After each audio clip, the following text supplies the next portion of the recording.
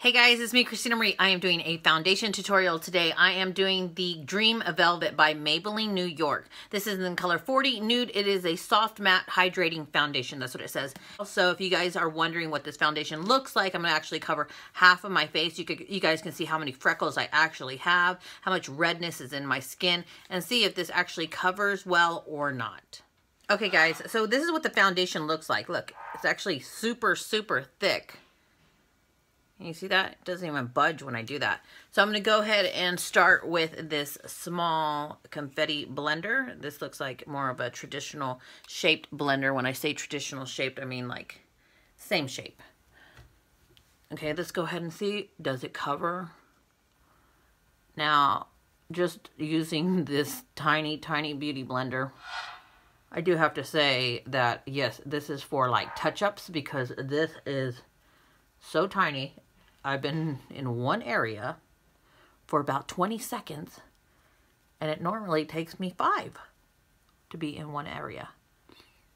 But this beauty blender is actually very, very squishy. So what do you guys think so far? I mean, you guys see that I took it right in the area where I have my freckles. You can still see a little bit of my freckles. It is like, it's funny. So it's not like it says, a so yeah, there you go. It says soft matte. I was going to say it's not like a really harsh matte. Um, it is matte, but it has like that softness to the skin. As you can see, it almost looks like I'm dewy, but I'm not dewy.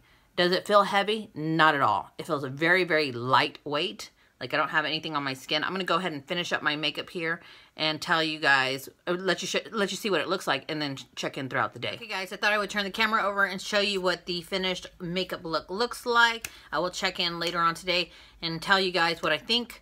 But I think the finish is just so pretty. It's so it's so lightweight and like it's not it's not like some mattifying foundations can feel drying. This doesn't feel drying at all. It just feels like I have, uh, it actually feels like I don't have anything on the face, which is kind of nice.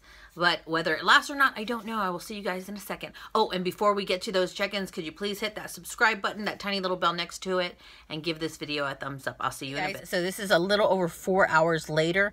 Um, you can, I don't know if you can tell, like my nose has become, well, that's too much light my nose has become very, very shiny.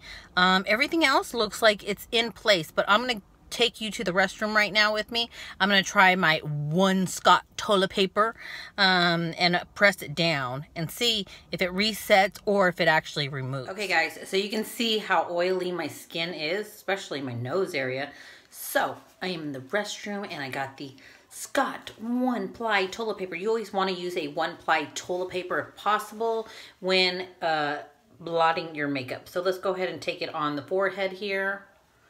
I know this nose more so you guys want to see. Look at this. Let's cross our fingers. So I'm not, I'm just pressing down. Wow, that's huge. Look at that. But I am seeing makeup transfer.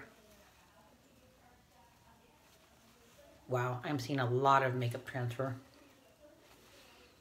So let me just go ahead and finish patting down. You can see like, you can see a little bit of redness right there in my nose, right here. So it didn't remove all of it, but it did remove some of it. It did pat down, like I said, once again, to a powdery finish. There is all the oil on my face, which you saw how much oil I did produce today. But so far, it's it's pretty good. I mean, it's not absolutely fantastic, but it's pretty good. And the, the finish looks really nice still. So I'll check back in with the, eh, with you guys in a few okay, more guys, hours. so it's been eight hours later. I'm to get my one ply, Scott, one ply toilet paper, and let's do it again. You guys can see I'm like super oily again. Eight hours though. I kind of did rub my nose just once, and then I was like, oh shoot, can't do that. So, let's see. I didn't rub it, I just kind of like, something was on my nose and I kind of patted it off. So it looks like the majority came, let me, let me look in the mirror real quick. I'm gonna say even though the majority of it came off on my nose, I still have some on my nose because you're not seeing a lot of red. I still have a, I have a light weight foundation in my nose now. But look at that. What do you guys think? Like, I mean, you can see the red here from earlier.